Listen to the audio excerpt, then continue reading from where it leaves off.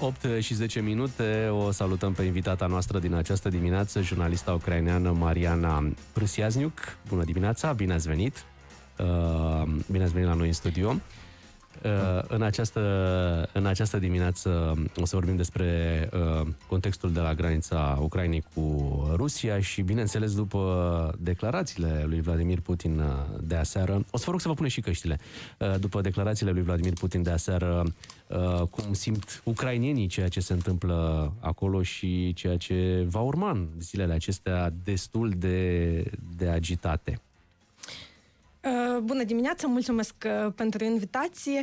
Uh, da, sigur, noi priveam ieri cum, cum, cum evoluează situația de la Kremlinul și, sigur, noi am așteptat ca ceva, ceva așa se întâmple și dacă, dacă vorbim cum oamenii sim, simt, este catastrofa foarte gravă pentru că Kremlinul, crearea uh, imagine despre sprijinul uh, de către oamenii de acolo, dar de fapt uh, și noi cu colegii verificăm aceste informații care se apară prin, și prin grupurile anonime și prin știri de la, uh, de la media rusesc și este de fapt uh, problema și propagandei și escaladării uh, și invaziei militare.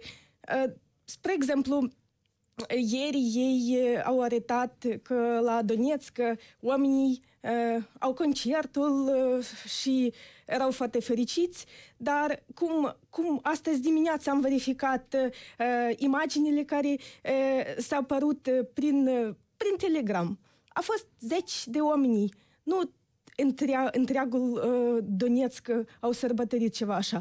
Oamenii, de fapt, uh, sunt capturați de către Kremlinul, știți? Și este situația foarte gravă și uh, noi... Uh, noi uh, ne este teamă că situația va fi, uh, va fi mai, mai dificil mai departe. Până la întâlnirea cu dumneavoastră, noi am avut aici niște discuții la radio, odată cu un jurnalist din Cernăuți, apoi cu artistul Arsenium, și mesajele care au venit uh, de la ei erau următoarele.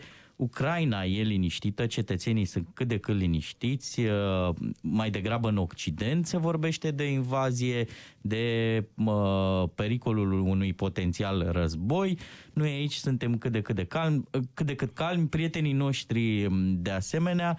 Uh, România e destul de efervescentă și de preocupată. Totuși, de aseară, lucrurile s-au schimbat și se pare că temerile occidentalilor au fost justificate, nu? Da, sunt... Încep de la ceea ce se întâmplă în Kiev. De exemplu, în Kiev oamenii în majoritatea, în majoritatea lor sunt calmi. Dar dacă vorbim cum situația s-a schimbat ieri, Uh, de exemplu, Putin a anunțat că uh, despre recunoașterea până la întreaga regiune înseamnă până la Mariupol. Și asta înseamnă că la Mariupol poate va apăra niște lupte acolo. Și riscuri, uh, riscuri sunt și va, vor fi și în continuare. Pentru că uh, militanți proruși stau uh, stau în regiunea 8 ani de zile. Nu sunt, te, teoretic nu vorbim despre separatiști, cum, cum înțelegem termenul asta. Pentru că acolo 8 ani de zile stau mai mult că 2000 rușii, militanți ruși oficiali. Și în perioada recentă ei au mobilizat, cum știți, cum toată lumea știe, 200 de mii de militanți de pe lângă granița ucraineană. Uh-huh. Și, sigur, este înseamnă că riscuri, riscuri sunt și noi, noi privim cum situația evoluează. Mi-ar plăcea să, să punem un pic de context. Ucraina nu traversează din 2014 până astăzi o perioadă foarte liniștită. Au fost acele proteste Euromaidan care au plecat tocmai de la uh, să zicem, decizia autorităților de a înclina în vreun fel balanța către ce să meargă țara, către, o, uh, o, către vest și către o democrație de tip occidental sau mai degrabă către o colaborare cu Rusia, există acea uniune vamală cu, cu Rusia, iar cetățenii, uite, mă uitam acum pe niște procente, sunt destul de împărțiți. Ucraina e și foarte mare ca suprafață, este cea mai întinsă țară din Europa, dacă excludem Rusia. Uh, există un procent de aproape 40% de rusofili în uh, Ucraina, dar există de asemenea un procent care trece de 37% de procente și de oameni care ar vrea mai degrabă ca Ucraina să meargă spre Occident. Atât de echilibrat stau... Dar uh, știți, acest proten, pro, procentaj este treaba propagandei. Okay. Cum, cum am zis înainte, uh, media din Rusia creează o imagine artificială că are sprijinul. Sigur, avem oamenii care, uh, care văd viitorul lor mai aproape de Rusia. Dar spuneți că și... nu sunt 40%, ar fi mai puțin nu, sau ce? Nu, nu ce este 40%. Eu vorbesc fluent limba rusă, limba limba mea este ucraineană, dar nu avem probleme nici cu limba, nici cu cultura rusă. Este uh, o treabă propagandistică că oamenii sprijină o, una direcție sau alta direcție. Uh-huh. Noi, uh, noi ne vedem în viitorul. Am auzit foarte atent ieri, ieri discursul lui Putin și, după părerea mea, problema tare este că ei continuă să trăiască în trecut pentru că el vorbea doar despre uh, perioada sovietică și uh, ei încearcă să reconstruiască uh, acest concept.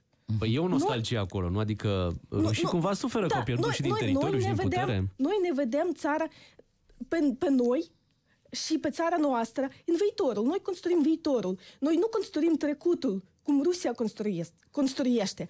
Și chiar, uh, chiar avem, avem foarte mulți oameni care vorbesc uh, limba rusă. Care, care este problema? Nu avem nicio problemă cu limbile, cu, uh, cu rușii. Foarte, foarte mulți și cetățenii ruși trăiesc în Ucraina. Nu avem nicio problemă, dar uh, am făcut deja alegerea uh, politicii externe noastre și facem, facem treaba și atât.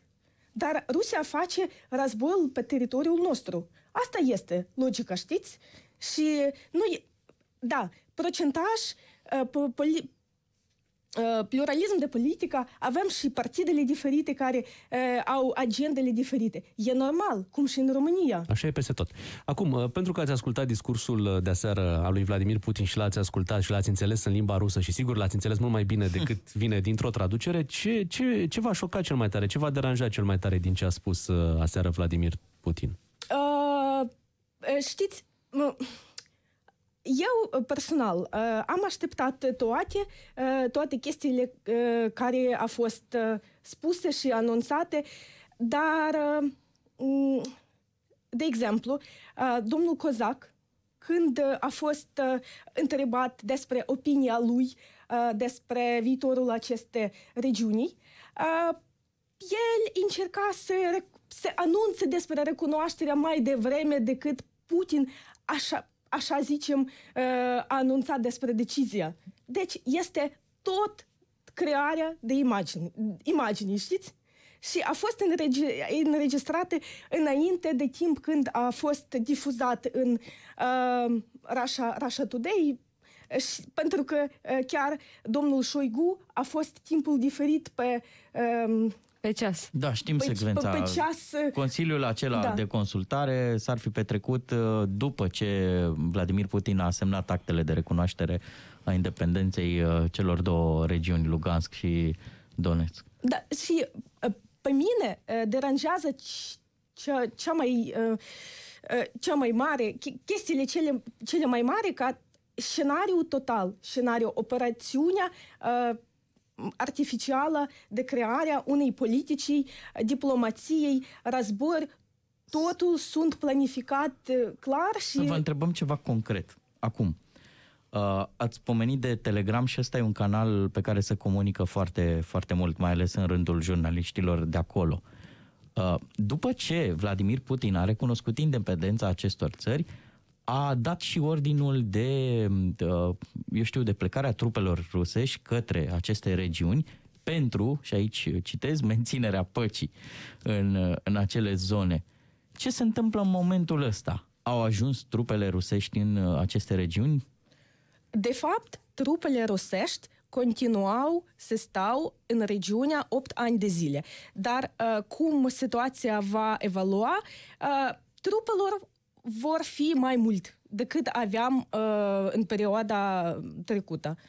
Numărul de ei va, cre- va, va crește. Uh-huh. Și uh, la granițele avem 2000, 200 uh, de mii militanți ruși. Uh, și în regiunea numărul lor va ridica. Și cum se împacă oamenii obișnuiți da, cu acest peisaj? Deci, practic, o să vezi mai multe tancuri pe străzi, mai, mai mulți soldați. Mai mulți soldați. Ce părere au oamenii obișnuiți care locuiesc în, în acele zone? Este frică? Cum? Apropo de frică, am văzut uh, mulți oameni de afaceri care au părăsit Ucraina, au, uh, din ce știți, și oamenii de rând au planuri de a, de a pleca în cazul în care uh, lucrurile scapă de sub control? Deci, la teritoriile control, la pe teritoriul controlată, situația așa, nimeni nu uh, vor pleca din țară, pentru că este, este deja capăt situației și uh, nu avem unde să plecem, știți? Este țara noastră și avem, avem armata dezvoltată deja uh, în această perioadă și vom lupta dacă, dacă va trebui. Dar la teritoriul necontrolat, aceasta, cum am deja menționat, este o catastrofă foarte gravă, pentru că, uh, de fapt, ei sunt capturați. Și cum uh, vedeam uh, în urma câțiva zile despre anunțarea de către lideri, liderii separatiștilor despre mobil, mobilizarea și evacuarea spre Rusia. Și cum ei au zis, erau mii de oameni care voiau să trec uh, spre Rusia. Nu este așa, cum am verificat la Stop Fake cu colegii, nu este așa. Pentru că uh, oamenii sunt foarte oboziți și este frică și ei vor doar pace. Este regiunea unde regiunea încălcării drepturile omului, omului regiunea unde Rusia practicează torturi și uh, cum, cum să trăiască în această regiune fără frică? Da, nu e ca și Așa cum este. acolo în Rusia îi așteaptă un peisaj Vă așteptați uh, la un conflict armat? Uh, eu nu știu, pentru că eu nu sunt expert militar, dacă, dacă va întâmpla ceva.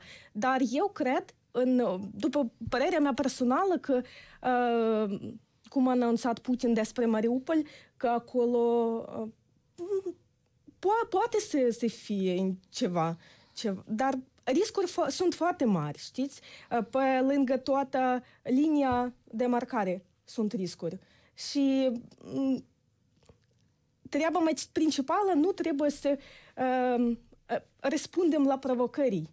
Pentru că uh, această logică de creare, uh, bombardare de către ucraineni, noi verificăm fiecare faptul, uh, așa zis, provocării. Și lucrul cel mai uh, principal, nu răspundem la provocări, pentru că uh, nivelul de riscuri foarte mare. Vă așteptați să aveți mai multă susținere din partea armatelor din uh, restul Europei? De fapt, uh, cum văd eu, avem susținerea și de către Marea Britanie, și de către Polonia, și de către România și suntem foarte mulțumiți de asta, dar avem și uh, armata ucraineană mm, foarte puternică mm, după această perioadă. Uh, facem treaba. Se spune că e mai bine pregătită față de anul da. 2014. Uh, eu mă întorc, mă întorc la o chestiune. Cât de mari sunt diferențele? Vorbim de nivelul de trai, da? de felul în care se trăiește. Cum arată Ucraina care e mai aproape de Polonia, nu știu, să luăm un oraș, Liov, da? Și cum arată Ucraina în partea de est, în aceste regiuni, Donetsk și Lugansk?